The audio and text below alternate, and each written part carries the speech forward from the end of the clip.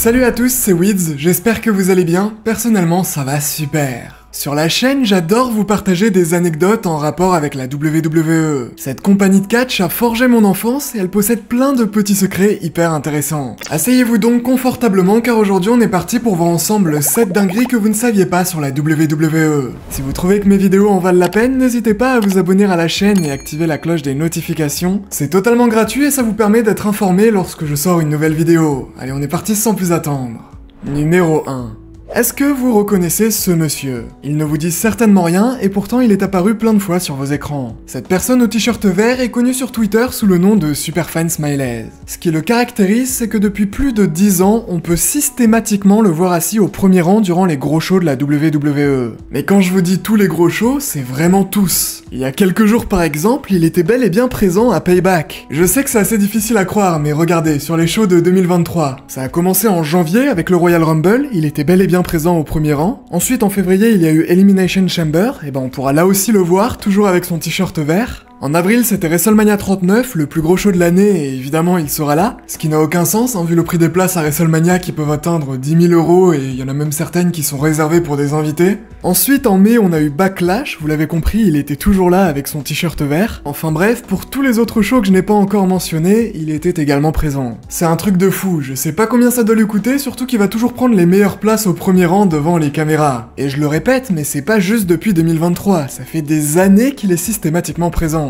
Et du coup, ce mec est probablement apparu des centaines de fois sur ma chaîne, sans même qu'on le remarque. Le pire, c'est qu'on ne sait pas grand chose de lui, vu qu'il reste assez discret sur les réseaux sociaux. Maintenant que je vous ai dit ça, vous allez systématiquement le voir en regardant les prochains PLE. Numéro 2. On vient de voir un vrai fan présent à tous les shows, mais sachez aussi qu'il y a parfois de faux spectateurs au premier rang. Alors pour le coup, c'est pas tout le temps et c'est pour une raison spécifique. Comme vous le savez, il peut arriver que des catcheurs fassent des spots à travers des barrières de sécurité. Même si en général c'est pas censé être très dangereux pour les fans, la WWE veut quand même prendre des précautions car durant le match entre Triple H et The Rock qui s'était tenu lors de Judgment Day en 2000, les deux catcheurs s'étaient rendus dans le public pour se battre. Ça va créer une bousculade qui blessera un jeune fan de 7 ans au niveau du genou qui des années plus tard portera plainte contre la WWE. Pour éviter ça, la compagnie n'hésitera donc plus à mettre des faux fans proches des endroits à risque. Durant le show SummerSlam en 2011, Sheamus et Mark Henry se retrouveront en face à face. Ils finiront par passer à travers une barrière de sécurité et tiens tiens, qu'est-ce qu'on pourra voir sur le côté? Ellen Knight. Alors évidemment, à l'époque, il n'était absolument pas catcheur pour la WWE, en revanche, il faisait du catch. Comme vous l'avez compris, il sera recruté ce jour-là pour être assis à cette place. Bon, même si la WWE essaie de prendre le plus de précautions, ça n'a jamais totalement empêché à des membres du public de se retrouver blessés par accident.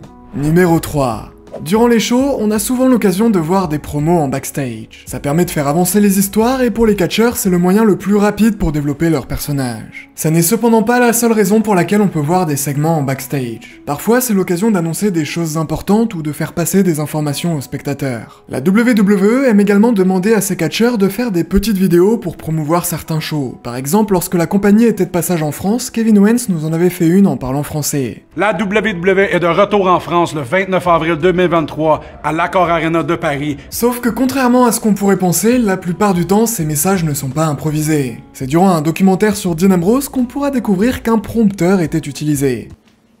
What's up, Australia? Dean Ambrose here? Don't miss the biggest WWE live event. Ce prompteur est en fait incrusté dans la caméra. C'est par exemple ce qu'utilise le président Emmanuel Macron durant ses interventions. Ça permet de prononcer un texte sans avoir à l'apprendre par cœur, ce qui est beaucoup plus pratique, et surtout ça permet de toujours fixer la caméra.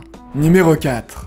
Il y a un secret que j'aurais rêvé de savoir étant plus jeune concernant Rey Mysterio. Lorsque je regardais un show de la WWE, j'étais complètement jaloux de ces jeunes fans masqués au premier rang qui avaient la chance de voir le catcheur venir coller sa tête sur eux en leur disant un petit mot. Je me suis toujours demandé ce que Rey Mysterio pouvait bien leur dire. Et la réponse, on l'aura grâce à quelqu'un sur Reddit.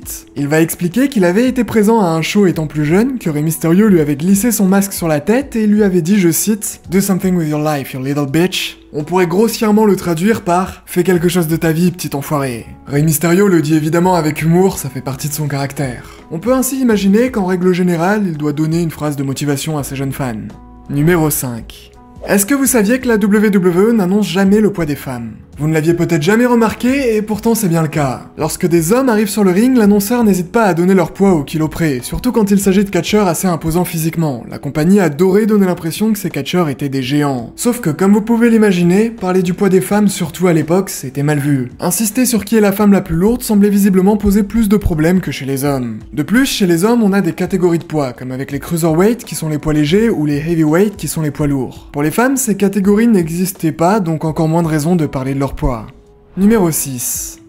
Durant le podcast Pardon My Take, dans lequel l'Undertaker sera invité, il va révéler quelque chose d'assez drôle sur son entrée légendaire. Vous le savez probablement, mais quand il descend la rampe d'entrée, c'est toujours très long. Au début de sa carrière, il expliquait que c'était surtout pour gagner du temps parce qu'il était stressé avant ses matchs. Vous l'imaginez, au fil des années, cette particularité est restée, devenant alors l'une des caractéristiques de son personnage. Sauf que durant le podcast, l'Undertaker va révéler une autre raison beaucoup plus drôle pour la lenteur de son entrée. Il nous apprendra en fait que lorsqu'il savait qu'il allait avoir un match assez mauvais contre un catcheur, il gagnait volontairement du temps pour essayer de faire apparaître de la valeur non pas dans le combat, vu qu'il sera probablement nul, mais pour tout ce qu'il y a autour. En bref, il marche doucement pour qu'on se souvienne de son entrée et pas du match. C'est probablement la raison pour laquelle, durant le Super Showdown en 2019, lorsqu'il devait affronter Goldberg, qui a toujours suscité la polémique en étant vu comme l'un des catcheurs célèbres les moins talentueux, mettant par exemple fin à la carrière de Bret Hart en le blessant gravement avec un simple coup de pied. Il décidera de faire durer son entrée près de 7 minutes. Le combat va ensuite se dérouler, Goldberg manquera évidemment de tuer l'Undertaker, et surtout il sera terminé lui aussi en 7 minutes. L'entrée de l'Undertaker était aussi longue que le match en lui-même.